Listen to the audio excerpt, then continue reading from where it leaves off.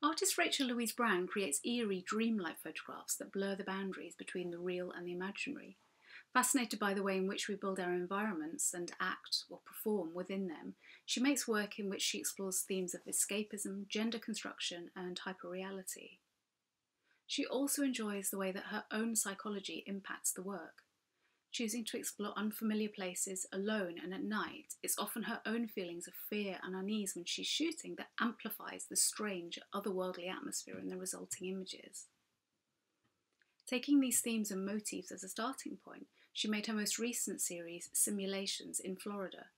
Over a period of four years, Rachel photographed some of the theme parks, roadside attractions, and places of escapism that the state is renowned for. I caught up with her recently over a Zoom call and we talked about her experiences, her process, and how the work evolved during this time. Hi, Rachel. How are you? Hey, Claire. I'm good, thank you. How are you? I'm well, thanks. Thanks for agreeing to talk to me today. So, we're here to talk about your series Simulations. But before we start talking about the works, could we talk a bit about your background and how you started working with photography? Yeah, absolutely. Um, so I started working with photography when uh, I was about 15 years old. Um, I'm from the north of England, from a town called Huddersfield, which I'm not sure if you're familiar with. But at that point in time, uh, during my childhood, it was quite a bleak place that felt to be lacking in opportunity. And I was always sort of looking for a way to spread my wings and um, find the world. And initially, my passion um, was journalism. Um, and at the age of 12, I, I entered a competition at the local newspaper and I actually won it with this terrible sort of cut and paste Blue Peter style newspaper. And anyway, I worked there for two weeks, and during that time, I shadowed the staff photographer, and I got to go on assignment with him to various places. And I knew instantly that photography would become my sort of method for storytelling. And the irony now is that Huddersfield is actually a really thriving place with um, a first class university and a photography department that's unbelievable. And um, yeah, I, I go back there to guest lecture sometimes. So, you know, home is where the heart is and all that. So, what was the starting point for the simulations project? And could you tell us a bit about the evolution of the work? Yeah, absolutely. So, simulations actually began as an idea seven years prior to making it. So in 2008, I moved um, to New York from the UK to do an artist residency at the School of Visual Arts. And I'd never been anywhere except mainland Europe, and I think I'd only been there once. So uprooting and moving across the world was quite a significant event for me. Um, and I'd gone there with this sort of initial idea, this project proposal to work with beauty pageants and look at, looking at the construction of um, femininity within that realm. And what I actually ended up doing was working with um, the feelings of displacement that I was experiencing when I first moved there. Mm. I had this real um, sort of uh, learned memory of America. I'd consumed so many films and books um, throughout my sort of t- childhood and teenage years that I had this mm. idea of what it was going to be like. And when I was there, I had this um, sort of feeling like I was viewing my own reality from outside of itself, like I was in a sort of psychological thriller. And I decided to can the beauty pageant idea and made work instinctively instead. Um, and I ended up exploring these feelings and pushing them further. Mm. I went to um, upstate New York and wandered around these sleepy villages, trespassing and exploring alone at night because I felt that that really heightened these feelings that I was already having. Um, and when I developed the films, it was like a, a light bulb had gone on.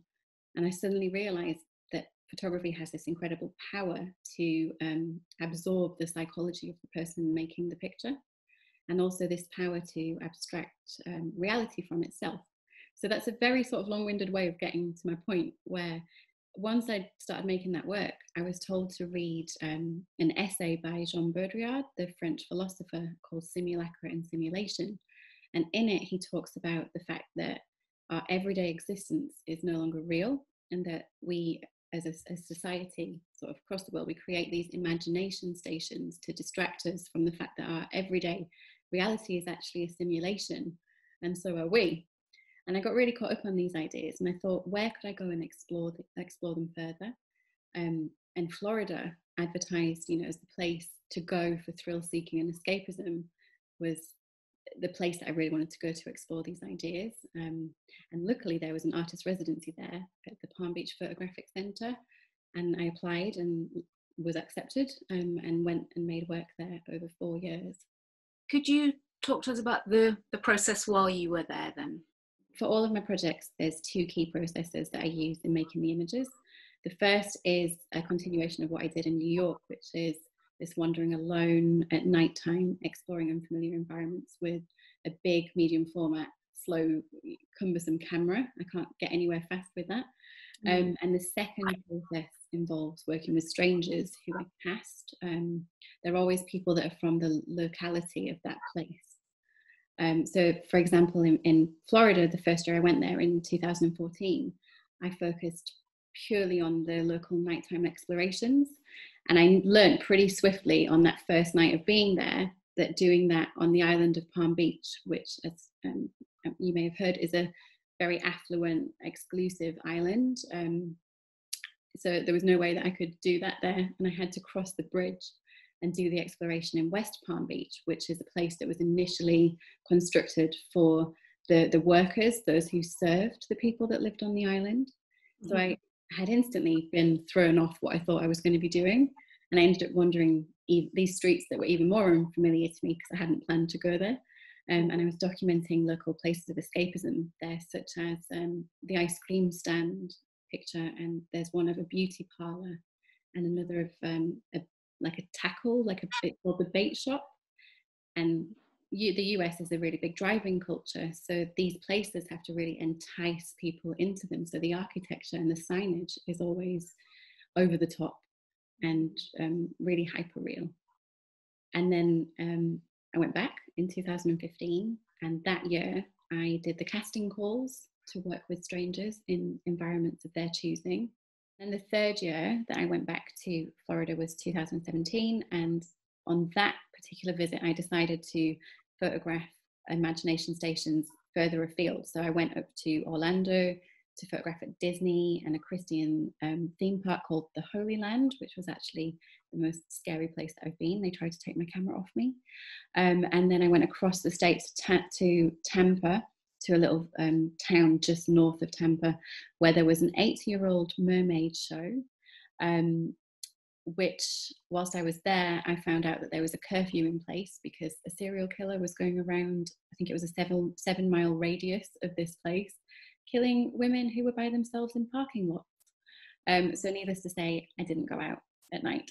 Um, but the first, the photographing of the mermaid was really key to the whole project because I realised when I photographed that show that actually I was quite interested in how people train to become a simulation. So the project evolved again, and I decided to cast um, people who trained to become simulations. So it um, people such as ballerinas and gymnasts. And I photographed a, a stripper as well. Um, and then collectively, all of these images came together as simulations. Could you talk about what is that compels you to shoot in certain spaces? So, in, in a nutshell, um, it's the construction of the space that compels me to shoot within it. I'm sort of like a moth to a flame. And it's very much to do with the lighting of the space and the sort of the learned memories it perhaps evokes in me from content that I've consumed within film and literature. Um, I also feel like, it, especially at nighttime, the, the cinematic mise en scène of a place really comes to life. And um, not just at night, though, within artificially lit spaces, the same thing happens for me. And I'm very much interested too in, in the spaces that are constructed to house somebody who performs. So, for mm-hmm. example, The Mermaid.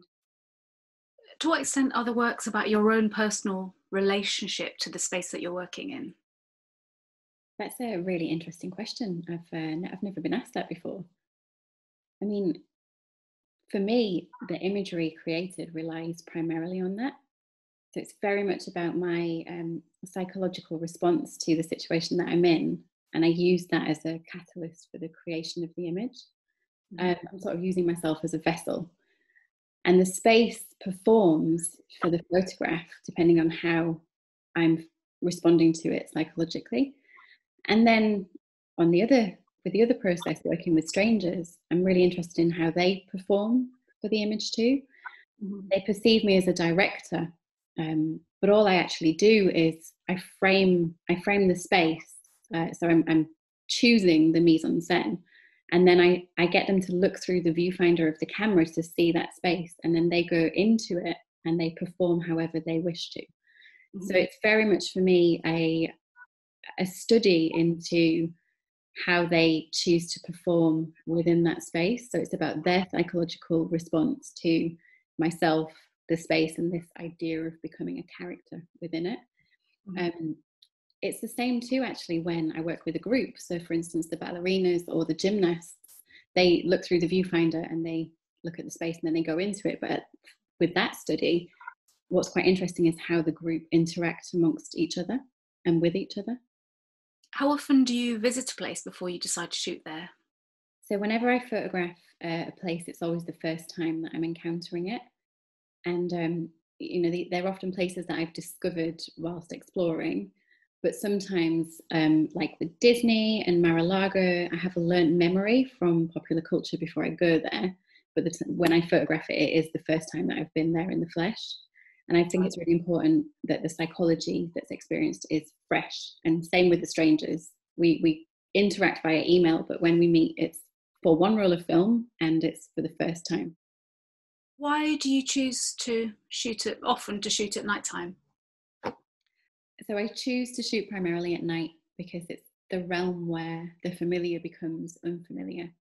And I really I'm really fascinated with how that enhances the narrative of the unknown also as a female i'm taught not to go out at night on my own uh, you know it's to be avoided um, and i think one of the reasons that i want to do this is is a reclaiming of the night it's a mm-hmm. facing of the fear that i've been taught to have so it becomes the work um, the process behind it is a, is a sort of feminist performance could you explain how you came to meet your subjects and as an outsider how you found it coming into and being accepted by the community?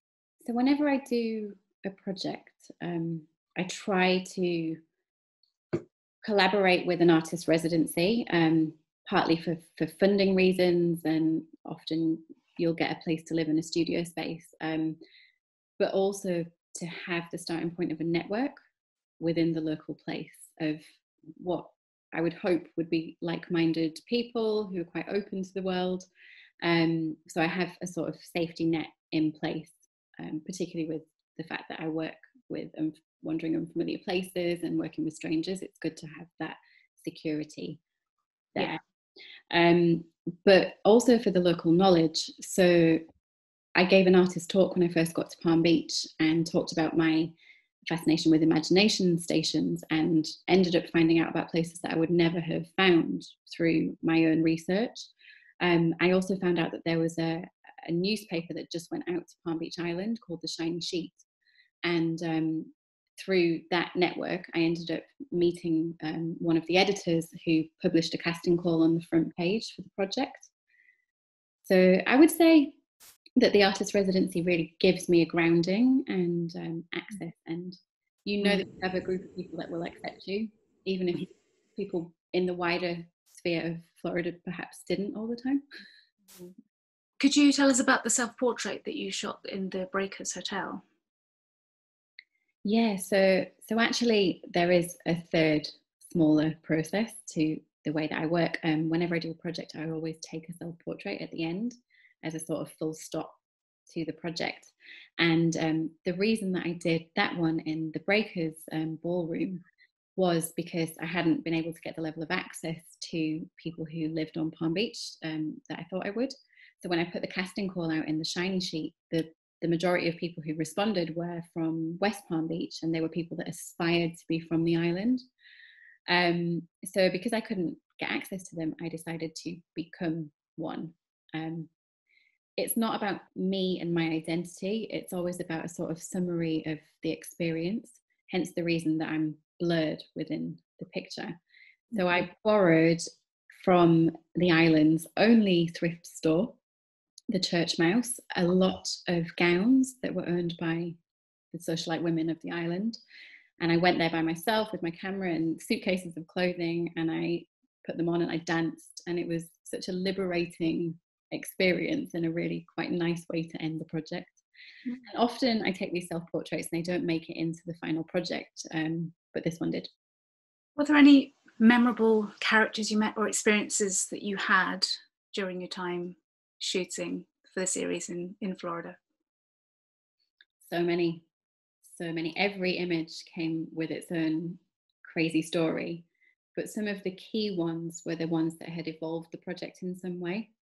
So, the first year that I was there, um, I ended up photographing at a place called Fright Nights, which was a haunted house created every year by locals. So slightly more outside of West Palm Beach, a more rural town. They built a haunted house that had no health and safety, that recruited actors who were just local teenagers.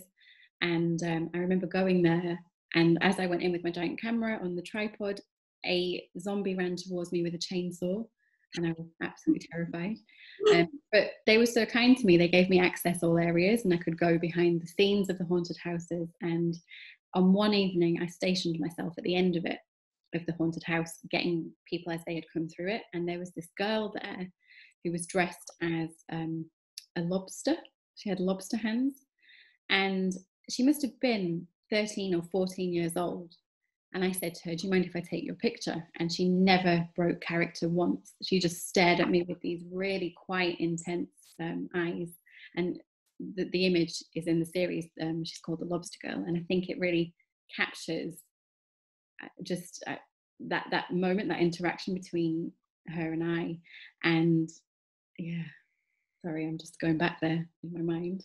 Um, what I found quite important about her was that she she hadn't had any training she was just becoming something that she was imagining she mm-hmm. hadn't wasn't a trained actor she was just a local girl and she was so terrifying. But she gave me the sort of inc- inclination to actually then start casting people to become a part of the project. Right yeah. a key, a key turning point. There's a filmic quality that characterizes much of your work. How big a part does cinematography play for you and who your heroes within that field? So cinematography is um, it's hugely inf- influential to my process, and I'm really fascinated with how the cine camera frames scenes and omits detail to sort of enhance narrative and build suspense. Um, I guess I'm less I'm less influenced by specific films and more about genre. Um, and I'm also really interested in how staging and casting and lighting as a as a whole um, comes together to evoke specific emotions in the audience. Um, if I had to give any specific directors, I'd probably mention David Lynch and Alfred Hitchcock, um, particularly their sort of staging of suspense and the use of colour.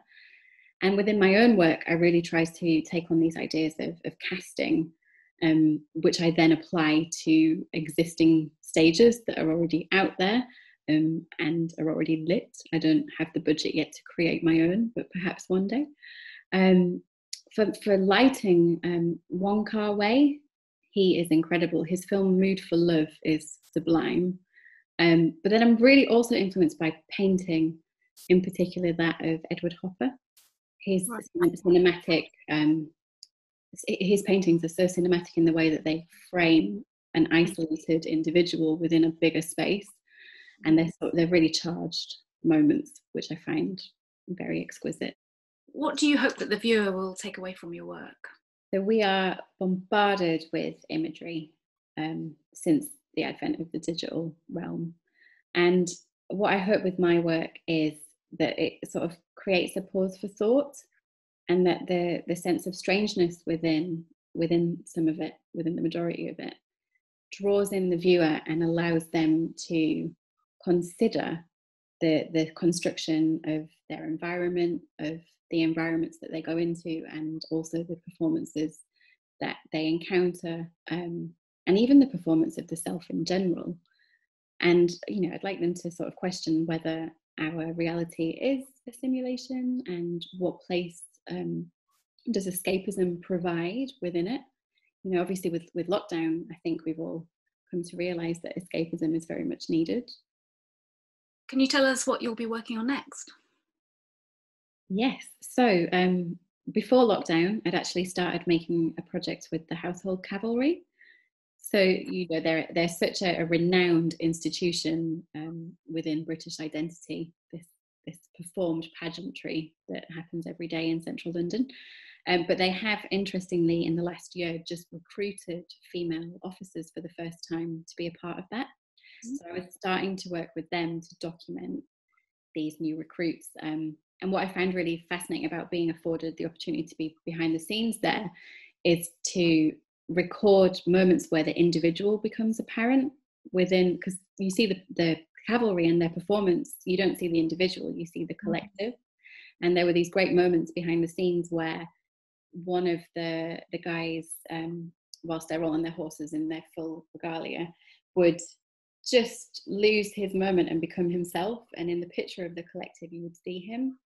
And that's mm-hmm. what I was wanting to get, but with the female recruits. And then, then lockdown happened, so hopefully I'll be able to go back. Um, I'm also hoping to evolve simulations in Vegas. I can think of nowhere better to go to explore hyperreality and escapism further. Well, I wish you luck with that, and I can't wait to see the results. Um, thanks so much for talking to me today, and enjoy the rest of your day. Oh, thank you, Claire, and thank you for giving up so much of a Sunday. You're absolutely welcome. Thanks a lot. Bye. See you soon. Bye.